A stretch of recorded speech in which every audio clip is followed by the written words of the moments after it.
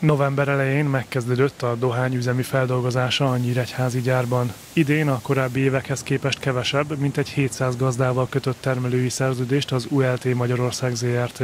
A 4000 hektárnyi termőterület a támogatási bizonytalanság miatt 2-300 hektárra lett kevesebb idén az előző évek szerződött területeihez képest. Sajnálatos módon az ez évi rendkívül kedvezetlen időjárás az negatívan hatott a dohánytermésre is.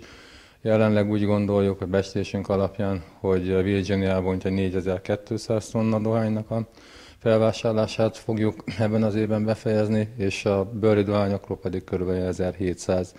Ugye tavalyi évhez képest ez egy 25-28 százalékkal kevesebb volument jelent mind a két dohányfajta esetében. A rendkívül kedvező időjárás a minőségre is rányomta a bélyeget. Azt kell mondani, hogy egy gyenge termés minőséggel számolhatunk, előző évekhez képest mindenképp. A Virginia típusú dohány felvásárlása már majdnem teljes egészében befejeződött, a Burley dohányt december közepétől vagy január elejétől kezdik el szállítani az üzembe.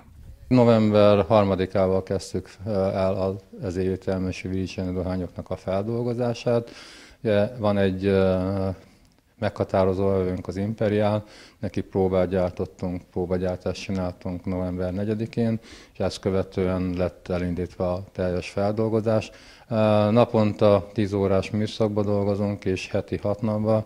Itt terveink szerint ez a kis mennyiség, vagy kevés mennyiség valószínűleg december 23-áig, tehát a karácsony előttig teljes mértékben feldolgozásra kerül. Ezt követően leállunk, lesz egy átállás, takarítás, tisztítás, és reményeim szerint valahol február első hetében indítjuk újra a feldolgozó sort a bőli dohányok feldolgozásával, és valahol a február vége, március első hetében a teljes termés feldolgozása kerül. Bittner Imre hozzátette, a támogatási rendszerek kialakulása után várhatóan a jövő évben is hasonló mennyiségű termőterületekkel kötnek majd szerződést. Elmondása szerint a magyar dohány iránti kereslet a világpiacra jellemző összfogyasztáshoz hasonlóan csökken, valamint az eladatlan készletek növekedése miatt az értékesítési ár is egyre alacsonyabb.